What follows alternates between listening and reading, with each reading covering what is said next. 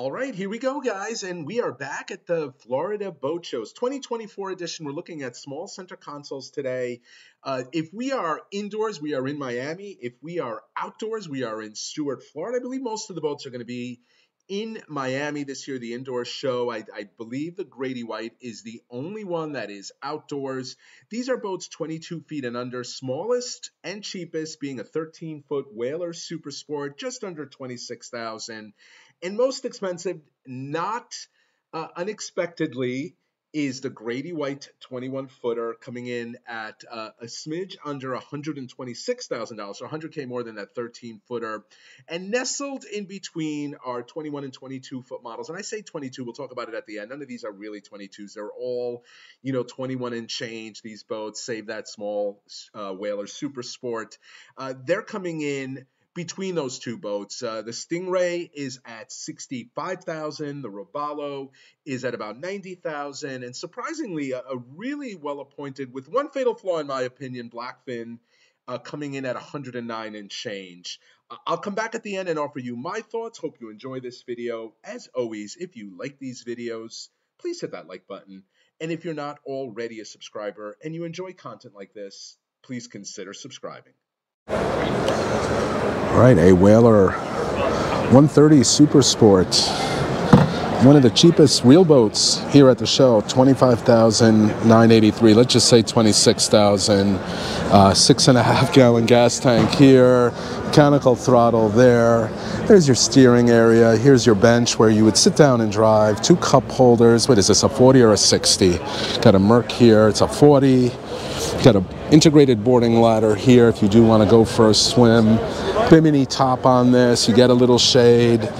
I mean, I, I was just on the Edgewater 370, which was about 800,000 if you own that boat, this this is what you buy your uh, your your 13, 14, 15 year old kid to put around in the intercoastal in, or or the bay or whatever protected sheltered body of water. Get them into boating. Your battery is exposed. It's under the helm there. It's under the bench seat there. Um, you do have a big area here where you could put. I'm not sure how it opens, but you could put uh, life jackets and tackle or whatever you like, or anchor, I guess, too. You want to have one of those on board. Uh, does have a lot of uh, cup holders. You got the two there, you got three here, four there. You're going to have more cup holders than you can have people on the boat, which is interesting. We do that with rod holders, but I'm not sure. I would have maybe added a rod holder somewhere. Um, there you go, a 13 foot Super Sport Boston Whaler. Not even allowed on it. Do not climb. Do not climb. That's the sign there. Let's get a close up of that.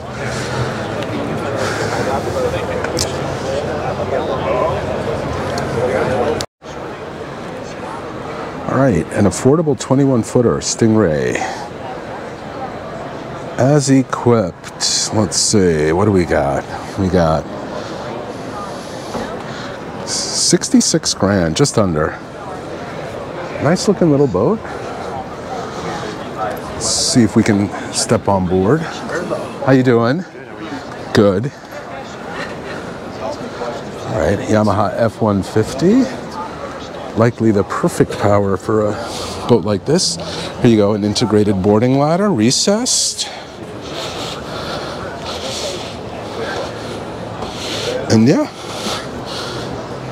very basic layout here. You have a jump seat here, That's probably a trick to it. No, there isn't. When it's down, it can be used as a casting platform. You'll see that there's storage on this side. There's one, two, three, four rod holders, two cup holders, another jump seat there, more rod storage under there. Little glove box up there, flip up bolster seats.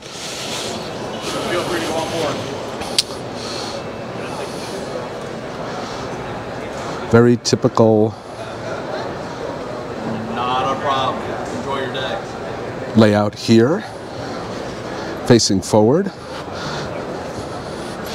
It's a nice touch here, very unique. Again, not not exactly cookie cutter. You got tackle storage here, you have this area here that could be a cutting board. I'm presuming it might be a sink option, a couple cup holders, forward seating here, room for a table there.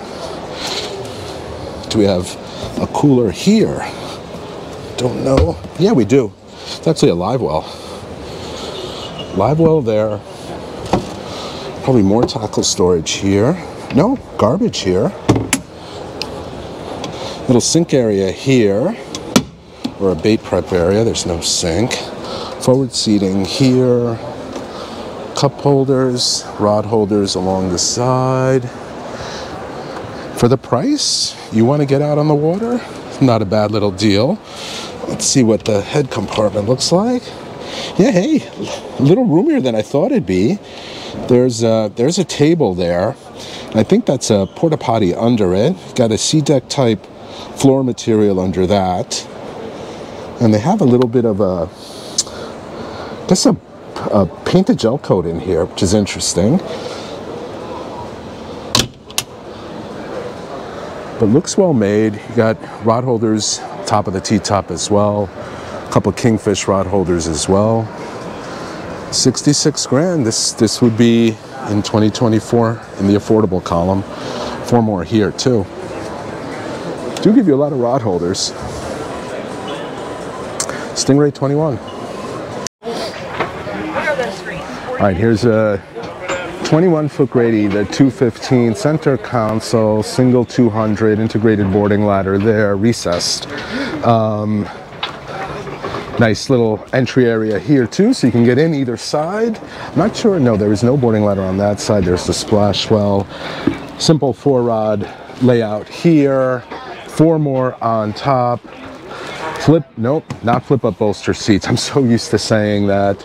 Uh, just regular uh, seats here. It's I don't even know what they call them. Uh, no electronics on this one. There is a Yamaha Diagnostics though. Uh, 125 662 as you see these uh, beefy grab rails as you're piloting the vessel. You got this uh, wraparound windshield too. Electronics box right above that. And yeah, just your basic area up here. You can access that storage though, which I like without having to remove the cushions. Those backrests do slide out of the way. And how does this open? Okay, this one you, you can't uh, access it like that. You do have to kind of move the cushions, but there's a little cooler up here. Uh, and your anchor locker right there. And we don't want to get guillotined by this uh, rope here that's holding the boats in place. Um, yeah, then there's the battery switch. Very simple functional boat. Uh, 125 with a single F300. Let's see, oh, this one I think was a 200, but I did I misstate that? Let's take a look. I didn't. It's advertised though for that price with the 300. This is a 200. And you know, 300 just didn't seem right, and I did in fact check the Grady White website. Max horsepower rating on this model, again, the 216, is 250 horsepower. So my presumption is that 125 plus price is actually with the 200 and the 300 was a typo. All right, a Robalo 222 Explorer, uh, $90,098. So a touch over 90 on a 22 footer. Uh, seems like a good deal. Let's see what we got. Probably, I'm guessing a 150 or 200. It's a 200. I wonder what Explorer denotes. Um, could just be their their brand name on the smaller boats. I'm not sure I've heard them referred to as Explorers before, but let's step on board this 22 footer from Robalo, see what we got. I like that right off the bat. Uh, there's the boarding ladder, but you see it is covered. There's a latch. It's not going to, you know, pop open and shut down as you're driving, and it just gives you a, a, a safe spot as you're boarding the boat. Boom! You don't have to worry about twisting your ankle. Um, in one of the, the ladder legs. Like we said, F200 four cylinder. This is a big seat. Unfortunately, it's not flip up. So uh, it does eat into the fishing room a little. One, two, three, four rod holders here behind the forward seat. One, two, three, four on top. Some LED lights as well. There's a Coleman cooler. I'm sure if you buy the boat. You can swap that out for an RTIC or a, Yeti if you like. Flip up bolster seats though, that's nice. Uh, there they are. No electronics at this price. There's a Yamaha diagnostic. Looks like this might be a mechanical throttle, not a digital throttle. Don't quote me on that. Two cup holders on this side. Some uh, footrest there, a, a footrest area, two level footrest area as you're piloting the vessel. Let's see what else we have. This too, like the other Robalos we've seen, has the forward entry into the head compartment. Um, really small space, but it's a 22 footer. I'm sure you could pop a porta potty in there if you like. There is, however, a forward fish box. There are wraparound seats here. I'm sure those cushions we saw in the head compartment go up here. When they do go in, you do have to remove them if you want to get into the storage. Doesn't look like there's any storage via the, the middle section. Anchor locker up there. It doesn't have the enclosed windshield like some of the bigger Robalos, but it does offer a, a, smaller windshield. And there is a spot here for your fire extinguisher or, or you know, if you want to store things. Again, hard to argue with that price. Uh, sparsely equipped this one, but well under well under uh, a uh, hundred thousand. All right, this is a uh, Blackfin 222, 22 foot Blackfin Mercury 250. I believe this is the. Does it say? No, this gets a little confusing at the 250 size. Uh, Merc makes their V8. Let's take a look at what we got. 109,603. Um, they start at 99.9 presuming that uh, 109 is as equipped, but you'll see that you get a lot on these Blackfins. They're just beautiful, beautiful boats, and they're they're heavy. They're overbuilt. You got a uh, a ladder. A, a, pardon me, a little door here for your integrated boarding ladder. That's nice. It's it's closed and out of the way. You can step on it and not stub your feet. Got three rod holders here across the back. This is not a flip-up bolster seat, but I do see the handle is here. Nice. Oh, look at this bilge access, and it's gel coat finished in here. It's got lights in here. I'm not a fan of your batteries being in here, your switches here, but uh, hey, you got a uh, nice big bilge pump there, got your water pump there. As long as you keep that make sure that bilge pump is working. You wouldn't want those batteries to get filled with water. I presume this is a live well here. Yep, nice deep live well. Got a seat here that actually comes out, so that's removable. Slide out cooler there. Handle here if you're standing up riding behind. One, two, three, four rod holders here. Rod holders also back here, two of them on each side. Do have a little glove box here, a couple cup holders there. Uh, single engine boat, so only one binnacle here, flip up bolster seats here. Yeah, nice vantage point to drive, another glove box up here. This is a very dark, almost like a black matte finish up here. There's your Garmin screen, room for a second. Again, this price is 109 at the boat show. You're getting a $26,000 discount here. These uh, backrests flip out of the way forward entry to the head area. There you go. There's all your electronics. Not covered, but that's okay. It's all neat, nicely done. Little porta potty in here too. There's a step down area. It actually looks pretty roomy for a 22. Forward uh, big fish box here too.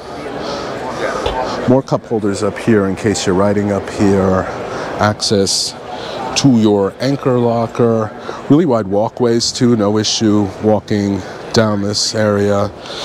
Coaming pads also, that's nice. So if you are fighting a fish, you can lean into them. Really nice. This Blackfin is one of my favorite brands. I was just talking to the gentleman at the dealer. I, I would put this up there with Everglades and Grady White in terms of like that upper tier of mid-tier boats um, this 22 will be cheaper than a Grady and probably cheaper than an Everglades or an Edgewater of the same size. And it's probably what I would pick. And I'm a, you know, I owned an Everglades. I'm a fan, despite what people think, because of what I think about their pricing of Grady's. Uh, but you're getting a lot of boat here for 109. I know I'm going to get ripped apart in the comments for that, but it's true. All right, let's see what we got next. And what we got next are my final thoughts. Which would I pick and why? And this is a tough one. Um, you know, value wise, it's hard to beat that Stingray, 65 grand. And if you look at it dimensionally, 21 degrees of dead rise, 21 plus feet, none of these boats were really, I'm not going to count that Whaler Super Sport, right, the 13 footer, but none of the 22s in this list were really 22 feet. They were all in that 21 and a half foot range, as were the 21s it's really hard to beat that price. I mean, 65k in 2024. Um, if I were going for bling, it would definitely be that Blackfin. I think reasonably priced at 109. The one thing I really did not like about that boat, come on guys, move those batteries out of the bilge. It's so easy for one of those pumps to to to break or fail, and you know you you get water in the bilge. It's not that uncommon and it'll be disaster if your batteries are there. They're going to short out. You're going to lose power. You're not going to sink, but you, you know it's just not the place for batteries, especially in 2024. It's it's like manufacturers who still use a lot of wood in their boat building when there are all these composites that are so much better. Let me know what you think in the comments. Hope you enjoyed this video. As always, if you like these videos, hit that like button. And if you're not already a subscriber and you like content like this, please consider subscribing.